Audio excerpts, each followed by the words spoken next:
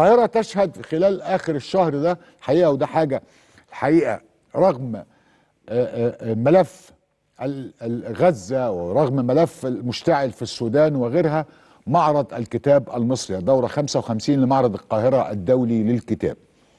الكتاب يعني ثقافة.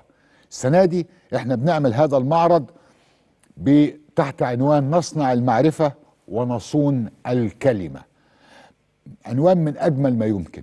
وعايز أقول لكم أن هذا المعرض الذي يقبل عليه كل العالم هو من أهم المعارض اللي بتقيمها مصر وتستمر فيها في دعم الحركة الثقافية المختلفة في كل الدول العربية وداخل مصر.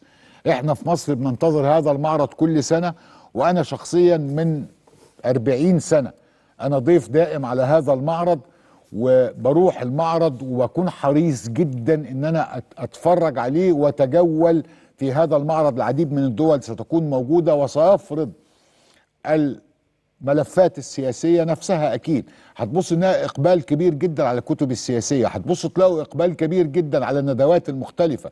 هتبص تلاقوا إن المعرض له أبعاد لأن الثقافة تلمس كل الأبعاد المختلفة في مجتمعنا.